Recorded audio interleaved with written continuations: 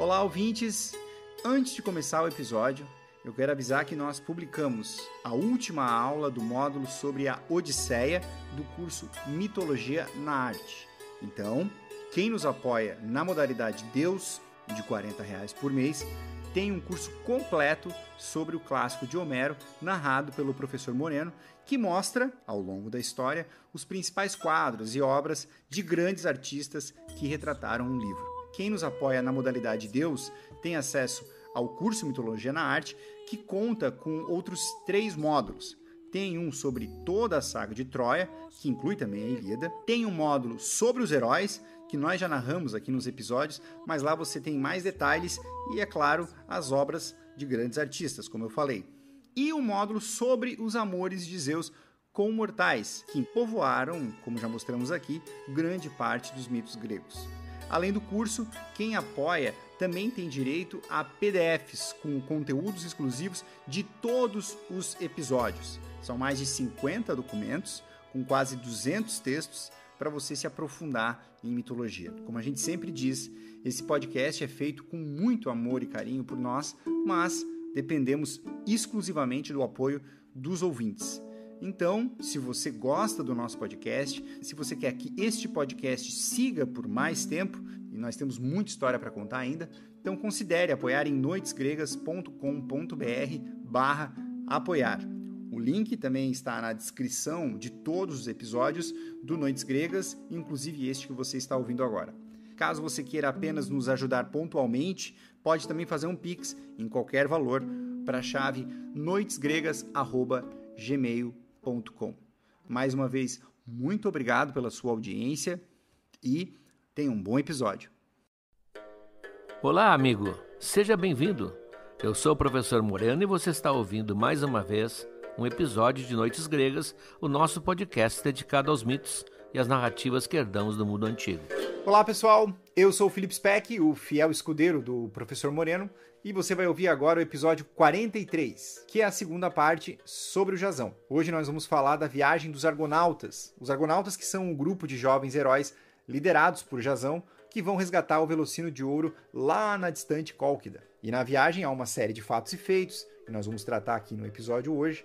Eles passam pela ilha de Lemnos, pelas terras do rei Fineu, eles cruzam as temíveis Simplégades, e lá na Cólquida, o Jazão conhece a Medeia, que se tornou uma das personagens femininas mais importantes da nossa literatura.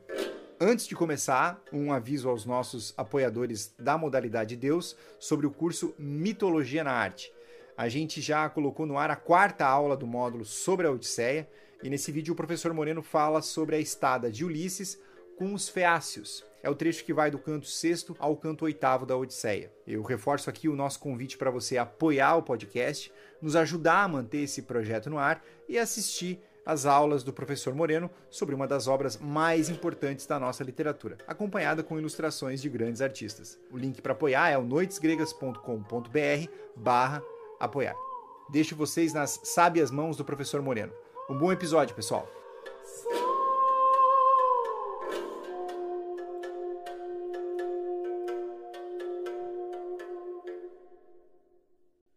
Começa então uma das maiores aventuras da tradição ocidental, a viagem dos argonautas. Eles têm que ir até a distante Cólquida, lá no Mar Negro. Seria mais ou menos hoje na região da Geórgia, perto do Cáucaso. Era o ponto mais longínquo que os gregos conheciam naquela época. O Homero, por exemplo, não conhecia nada mais distante. O conhecimento deles do mundo era evidentemente limitado. Mas era um grande trajeto para ser feito num navio enfrentando terras desconhecidas, perigos desconhecidos e talvez até seres desconhecidos, como nós vamos ver. Essa viagem é pontilhada de pequenos detalhes, alguns não valem a pena mencionar até, mas outros bastante interessantes, como é o primeiro encontro que eles têm com habitantes de outra terra. O Argo sai, movido a remo, movido a vela, capitaneado invisivelmente por Atena, conduzido, protegido por ela, e vai ter o seu primeiro contato com terra diferente na ilha de Lemnos. A ilha de Lemnos tinha sido palco de uma estranha e sinistra ocorrência. As mulheres de Lemnos teriam negligenciado os rituais de Afrodite. Teriam deixado de prestar homenagem a ela durante um ou dois anos, isso, evidentemente, como sempre aconteceu aqui, enfureceu a deusa e desencadeou a sua vingança. Essa é uma das versões e eu acho que é a mais plausível. E ela então resolve castigá-las. Como? Esse é um assunto de mulheres. Ela faz surgir entre as pernas das mulheres de Lemnos um odor insuportável. E com isso, os maridos vão se afastando pouco a pouco delas, e como eles fizeram uma guerra na Trácia, e a Trácia é uma região da Grécia Antiga que tinha um povo bem diferente, até em vez do seu povo mediterrâneo, cabelos pretos e olhos escuros, como até hoje, era um povo que tinha traços quase eslavos, cabelo mais alourado, olhos claros, às vezes até azuis. E eles trazem cativas de lá. Trazem cativas trácias e simplesmente abandonam o leito das suas mulheres. Elas, como não sabem o que fazer, se sentem mais ainda abandonadas, furiosas, e elas então, num gesto que também é muito discutido, resolvem matar os maridos e as escravas trácias, e fazem isso. Elas simplesmente liquidam os homens da ilha. Só escapa um, que é o velho rei, que a filha dele, que, é, que vai ser a rainha das mulheres de Lemnos, salva colocando numa arca de madeira, quase uma espécie de barco improvisado, e o ancião então consegue escapar vivo. Os outros todos são mortos e enterrados, deixando a ilha simplesmente uma ilha feminina. Tanto que era conhecida na, na história, na mitologia, como a Ilha das Viúvas. As viúvas que elas próprias tinham fabricado. Então os argonautas se aproximam dessa ilha e como eles precisam de água, isso vai ser presente em todas as histórias de viagens da mitologia, na Odisseia, isso é muito frequente, eles têm que aportar em algum lugar e conseguir água fresca, já que eles não tinham modo de conservar a água por muito tempo, não tinham cloro, por exemplo. Então eles param de três em três dias, quatro em quatro dias, para coletar em alguma fonte a água necessária para o seu navio. Eles vêm àquela ilha, que não conhecem, com vegetação bonita, aliás, mas eles notam entre a vegetação o brilho aqui e ali de reflexo de armas. Tem alguém atrás daquela folhagem, alguém atrás daqueles arbustos, olhando para eles e são armados. São pessoas armadas e eles não querem se aproximar da costa. Eles ficam à distância 100 metros, 50 metros da margem, com o navio pairando ali nas ondas, na arrebentação, tentando enxergar quem está ali atrás. Quem está ali atrás? As mulheres de Lemnos, que agora formam quase que uma comunidade de Amazonas. Elas simplesmente tratam de todos os assuntos e estão dispostas a deixar a ilha livre de qualquer tipo de homem, porque elas não confiam nos homens. Várias já são eram meninas quando os maridos foram assassinados, quando seus pais foram assassinados, mas agora todas elas têm o espírito geral de desconfiança. O homem não é confiável. E elas estão medindo cautelosamente as forças que esse navio teria. Qual é o poderio desse navio e que tipo de tripulante também. Que já deve ter passado por várias eh, experiências com piratas, com tripulantes extremamente agressivos. E elas só vêm ali um grupo de jovens, aliás, todos eles né, belíssimos, aparentemente, aparentemente inofensivos, mas são homens. Então, a que está no comando desse pelotão que está ali observando, não sabe se dá ordens de atacar ou não de atacar o navio. Jogarem flechas, enxotarem dali com gritos de guerra. Nesse momento não está presente a rainha. A rainha não está ali naquele grupo. Mas alguém vai lá dizer a ela: olha, nós estamos nessa situação, estamos aguardando instruções do que fazer. A rainha, que é a Ipsípile, a Ipsípile, evidentemente, já votaria para atacar e afugentá-los. Mas quem está ouvindo a conversa é uma velha ama, porque todas as mulheres ali trabalham e umas servem às outras. Uma velha ama que diz: Olha, rainha, eu queria falar uma coisa. Eu não sou mais jovem, eu e mais algumas das minhas amigas que servimos a senhora, e vocês também vão envelhecer e não haverá mais gente na ilha de Lemnos se não tivermos algum homem para fazer o seu papel. apesar de nós desconfiarmos deles e, e serem seres desprezíveis em geral, só com dois para dançar o tango, disse ela. Nós precisamos confiar em alguém, senão nós vamos nos extinguir. Sem homem não há reprodução. Eu acho que a senhora podia dar uma chance, examinar. Pelo que me disseram, é um grupo de jovens bem apessoados, não parecem ser predadores. Quem sabe a gente, com precaução, deixa que eles se aproximem, vamos conhecê-los, vamos ver o que sai daí. E a Ipsípile, que não é por nada que ela é rainha, né, ela é bastante ponderada, ela acha que ela tem razão.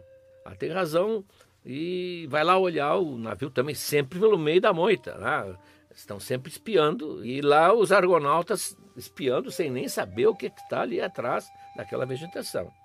E ela resolve então acenar para os visitantes em sinal de paz e dizer que eles venham, que serão bem recebidos.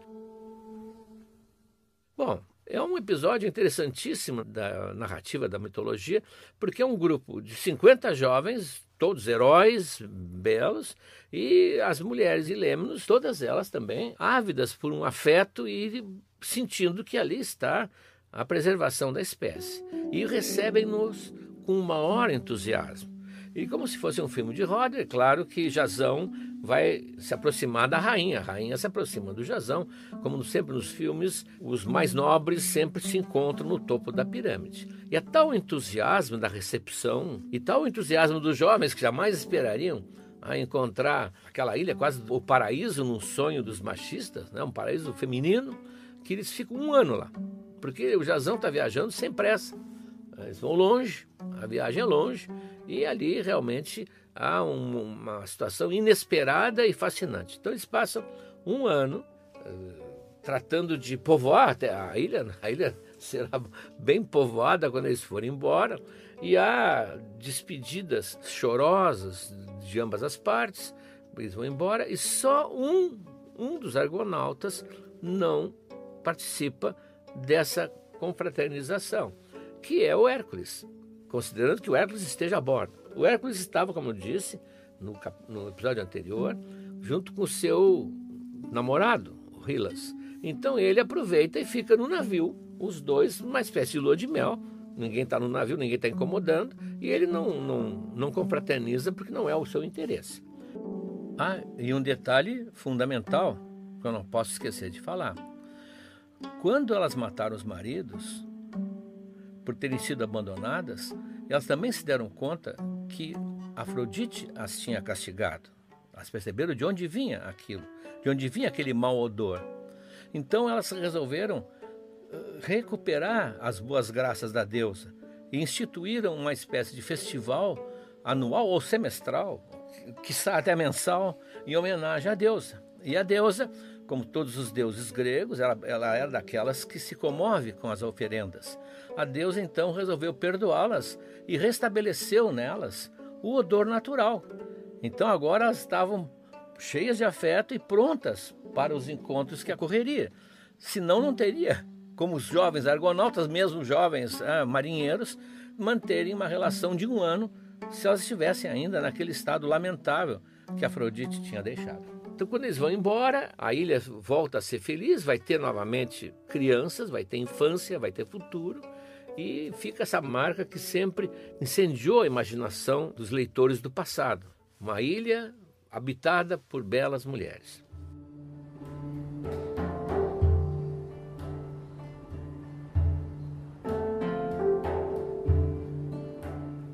O trajeto continua. É claro que entre eles, esses jovens todos, há uma competitividade terrível. E o Hércules e o Jazão fazem uma disputa quem consegue remar mais tempo. Portanto, o banco de um e o banco de outro ficam lado a lado, o, companheiro de banco sai, fica sozinho, eles, cada um segura o remo e eles saem remando aquele remo grande que se apoia né, dentro de uma espécie de buraco da amurada ali, ficam remando com força, com força, e o remo do Hércules quebra. Ele dá tanta máquina que jamais iria perder para Jazão, realmente ele é superior em força. Quebra o remo. Ele fica muito chateado, porque não tem remo de sobressalente, e pede para pararem numa ilha, para ele, de uma árvore, fazer um novo remo. Então eles aportam lá numa ilha qualquer, porque são centenas de ilhas. Né? Os arquipélagos lá são muito grandes, desconhecidas. E escolhe, ele escolhe um, um tronco bem reto e começa a afilá-lo e a fazer a forma da pá do remo, enquanto o Rilas, que é o seu namorado, vai buscar água numa fonte. E ele, aí é um episódio também muito pintado né, nas aulas de mitologia na arte, isso aparece bastante, porque também é, é intrigante. Ele vai na fonte e ele é tão bonito, ele é tão belo, que ele, quando se abaixa para encher o cântaro ou o jarro de água, as ninfas que vivem naquela fonte, né, porque toda fonte tem as suas ninfas, toda árvore tem uma ninfa residente, as ninfas que vivem naquela fonte o puxam para o fundo. Evidente, não para afogá-lo, acho que lhe dão lá uma, alguma capacidade de respirar lá dentro d'água, mas o sequestram, acham-no muito bonito para deixar ele escapar e simplesmente ele nunca mais será visto. Então, quando o Hércules termina de fazer o seu remo, ele sai em busca do Hilas gritando o seu nome, e o nome ecoa, tem um valezinho na ilha de rochedos, e os amigos saem e nunca mais se vê sinal do Ilas. Então, segundo uma história, aqui o Hércules fica tão desapontado, fica tão entristecido que ele abandona a expedição. Ele não vai junto na expedição, ele vai só até ali. Ele volta a pé, ele tem trabalhos a fazer, né, não terminou os seus 12 trabalhos, e ficou desencantado então com o desaparecimento do querido Hillas. Tem vários quadros que mostram né, o Hillas se aproximando de uma fonte cheia de flores aquáticas e as ninfas ali preparando-se para sugá-lo para dentro d'água.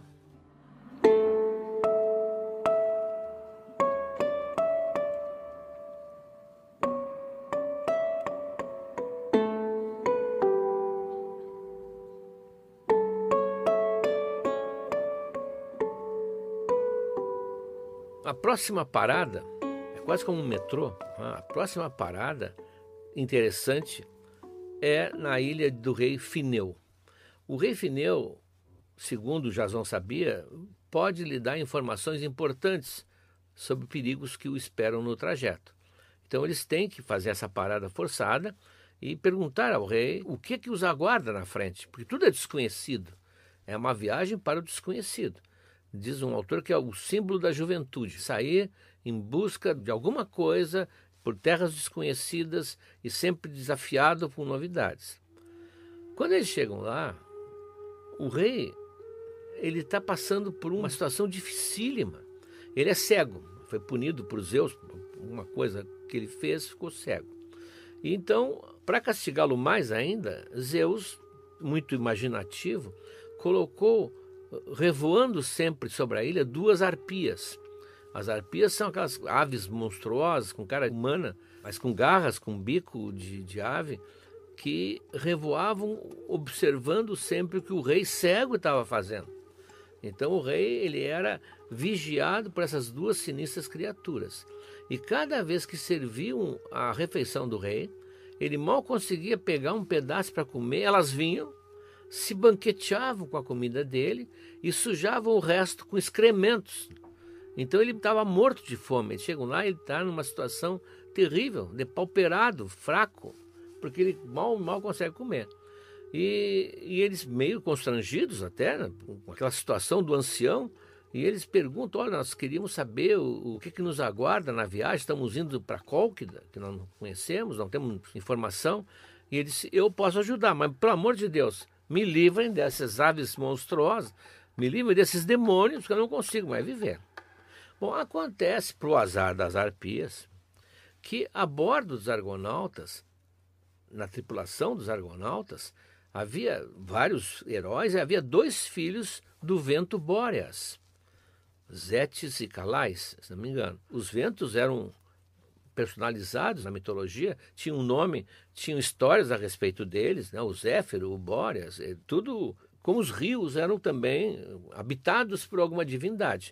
O Bóreas é, claro, é o vento norte, né? daí a aurora boreal que nós temos aí. E os dois filhos do vento, como por serem filhos do vento, têm asas, eles voam.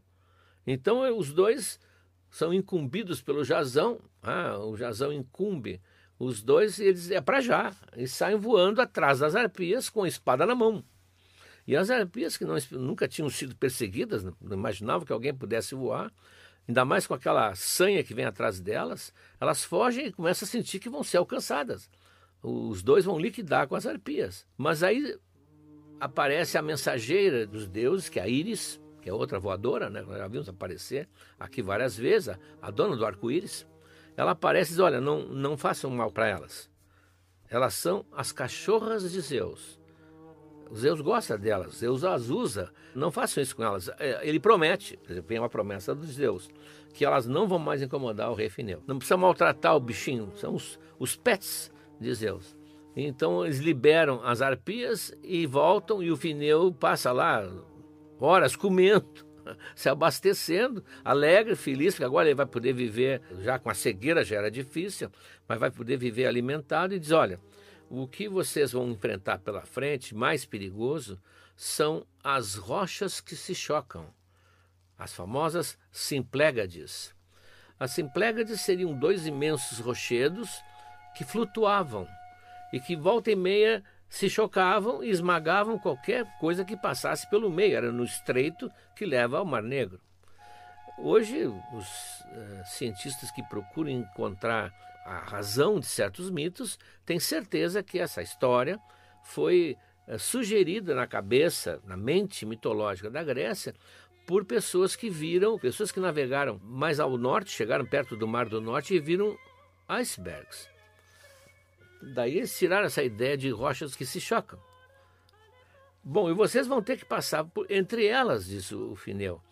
Mas e como se faz? Ele disse, não, vocês peguem um pombo, cheguem bem perto da boca desse desfiladeiro e soltem o pombo.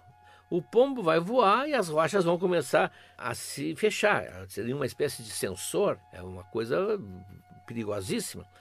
Quando o pombo chegar do outro lado, ele vai deve atravessar pela velocidade dele, elas voltam a se abrir. E aí vocês entram com marcha total, deem tudo que pode, né? sentam o pé no acelerador, porque é a chance que vocês têm.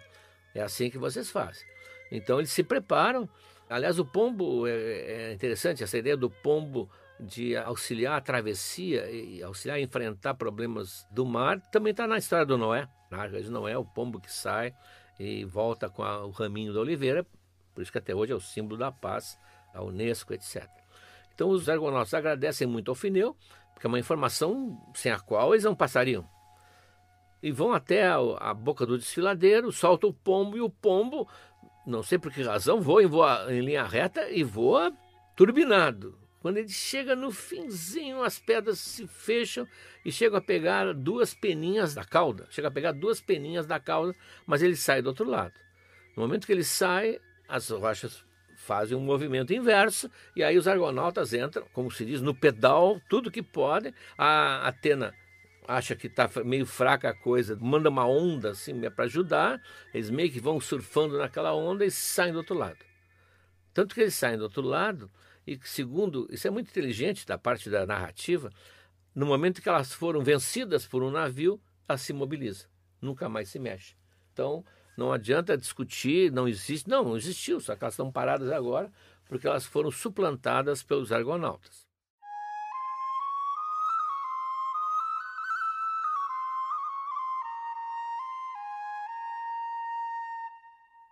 A jornada prossegue.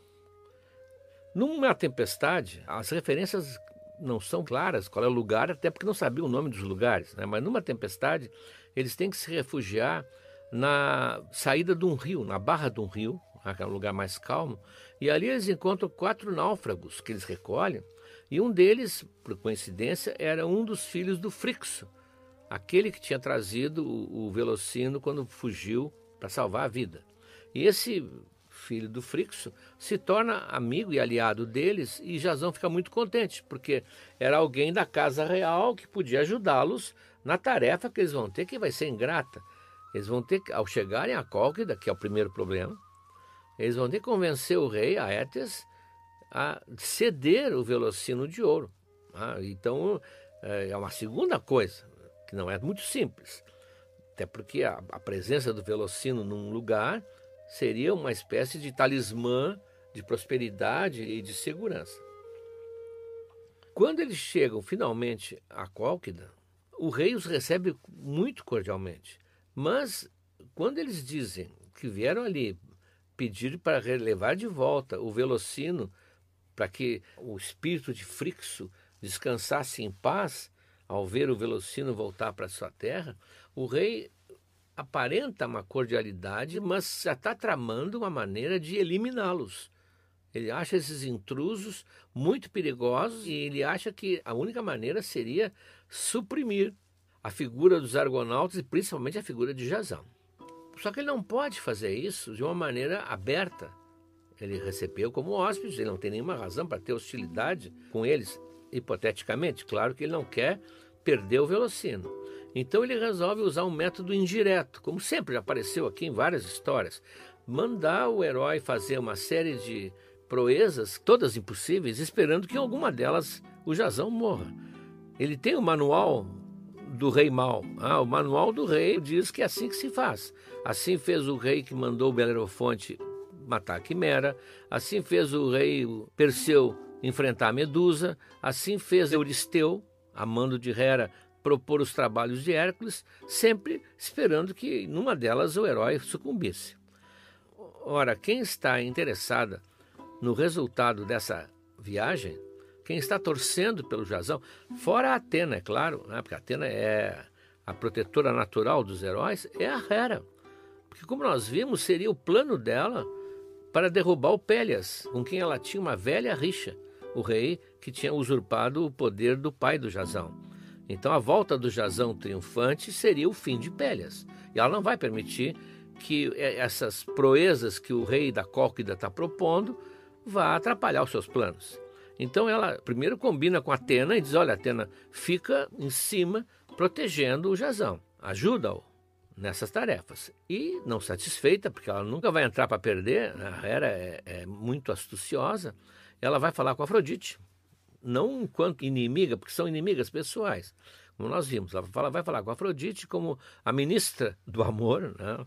e diz: Olha, Afrodite, eu queria que tu fizesse a, a jovem princesa Medeia se apaixonar perdidamente pelo Jazão. Eu preciso disso.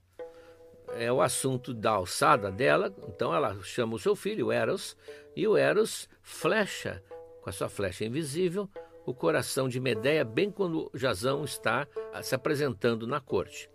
Vocês podem ver o texto, quem tem acesso ao material exclusivo, o texto em que ela sente subitamente a paixão por Jazão lá num dos episódios de Afrodite.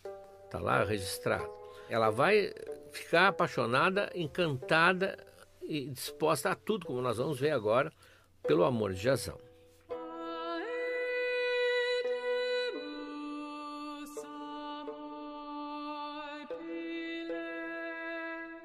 Muitos autores fazem questão de ressaltar que a Medeia pertencia a uma linhagem divina, porque ela é neta de Hélios, o deus do sol. Ela é sobrinha da Circe, a famosa feiticeira da Odisseia. Ela é uma pessoa especial. Aliás, é um personagem importantíssimo ao qual vamos dedicar o próximo episódio. O próximo episódio, o episódio final da aventura de Jazão, é focado na relação dele com Medeia que é um dos personagens femininos mais importantes da literatura ocidental. Agora ela está aparecendo aqui como uma coadjuvante, mas depois dedicaremos a ela um olhar bem mais detalhado que ela merece. Então a Medeia é uma moça pura, ingênua, delicada, ela respeita a família, respeita a sua terra e ela, no entanto, atingida pela flecha de Eros, ela fica arrasada, tem um debate dentro dela. De um lado a razão e do outro lado o sentimento. Ela está assim, quase que afogada nesse sentimento que ela nunca tinha experienciado. Como diz o autor, desejo e pudor se chocam dentro dela. Traiu o pai, isso ela não gosta da ideia, mas também ela pensa, quem sabe eu não ajudo o Jazão e morro junto com ele. Ao menos eu morro com ele. Tal é o, é o desespero.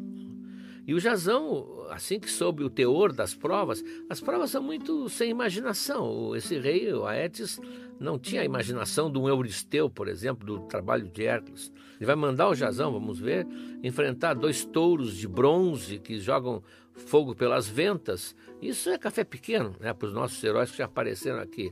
E outras coisas menores, mas que o Jazão percebeu que ele não conseguiria realizar. O Jazão sentiu que ali, se ele não tivesse auxílio, ele não conseguiria sair vivo.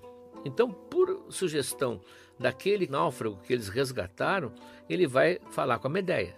E ele percebe que ele causa uma boa impressão, não, uma extraordinária impressão na moça, pelos olhos dela, pelo total quase abandono que ela fala com ele. E ele então vai pedir ajuda, que ele não quer morrer, que ele então gostaria que ela o auxiliasse, só ela poderia salvá-lo. E Medeia então se dá conta que de todas as dúvidas que ela tinha, uma ela não tem. Ela não pode pensar na hipótese de Jazão morrer. Ela não importa, mas ela não pode imaginar que Jazão possa morrer. E ela diz que vai ajudá-lo se ele a levar embora da Cólquida com ele. Que, que prometa solenemente que ele vai levá-la, porque se ela o ajudar, ela não poderá mais viver junto da família. E o Jazão evidentemente. Aqui muita gente discute, o Jazão é chamado de crápula, uns dizem que ele é o protótipo do homem que promete, promete e depois não cumpre, porque ele vai romper depois a promessa. Mas o Jazão, outros dizem que não, que ele estava encantado com a Medeia, que é uma moça totalmente fora do comum, uma princesa real, que seria uma esposa ideal para ele, como ele vai dizer que é. E o Jazão diz: Não, eu, eu sou sério, minhas intenções são boas. Eu prometo. Olha, se tu fores para lá, tu vai ser tratada como uma deusa, porque tu salvaste a vida de todos esses jovens, ah, dos filhos dos nobres. Tu vais ser a, a, a benfeitora de todos eles. Vai haver muita gratidão deles contigo. E mais, e tu vais partilhar o meu leito como esposa legítima. E nós vamos viver juntos Ninguém vai nos separar, diz ele, até o dia em que a morte, fixada pelo destino, nos cubra com seu manto escuro. É, o Jazão tinha um xalalá também. Né? A gente nunca sabe nesse personagem, é óbvio, até que ponto ele está sendo sincero e aí, ou está sendo apenas hábil, ah, um hábil sedutor. Mas, como dizia a própria Medeia com seu debate íntimo, mas o rosto dele é tão franco ele fala com tanta veemência, ah, ele tem um semblante tão nobre, ele não pode estar me enganando. Ele não pode estar me enganando. E ela então se decide que vai ajudá-lo e que isso realmente é atravessar uma linha da qual não tem retorno. Aliás, na peça do Eurípides, próximo episódio, eu vou usar a belíssima e terrível peça do Eurípides. Ela diz: Então, minha irmã, meu irmão, meu pai, meus deuses, esse solo que me viu nascer, eu me vou. Na asa do vento, vou deixar tudo isso para trás. E aí, para o Jazão, tu serás salvo, graças a mim. Mas quando eu tiver te ajudado, cumpre a tua promessa. Então, nós deixamos aqui engatilhado o drama, a tragédia que vai acontecer, de Jazão e Medeia, que vai se encerrar no próximo episódio, inclusive com o aumento da intensidade do brilho da Medeia e, ao mesmo tempo, a diminuição do brilho do Jazão. Nós vamos ver que o Jazão é um herói que termina sem brilho, mas isso fica para o próximo episódio.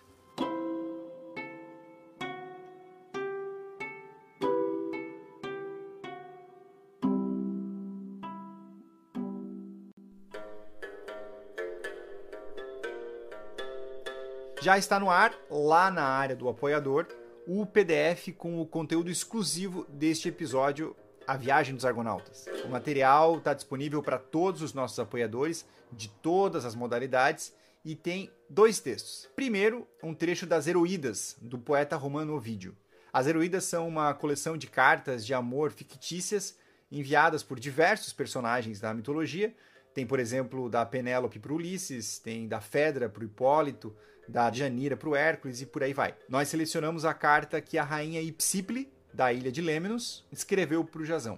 Na mensagem, ela se queixa por ter sido abandonada por ele, o chama de falso, leviano, enfim, há acusações que vão ser confirmadas depois pela forma que Jazão tratou a Medeia, como a gente vai ver mais para frente.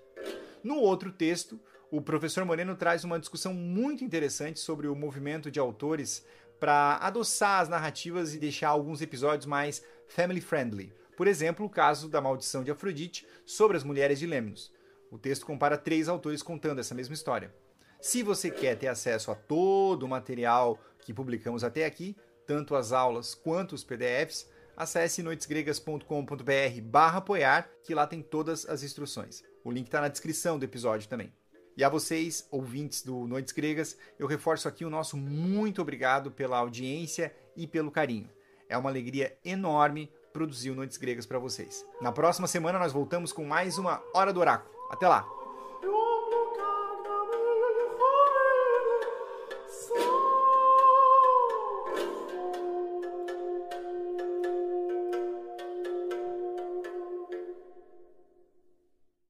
Olá, amigos.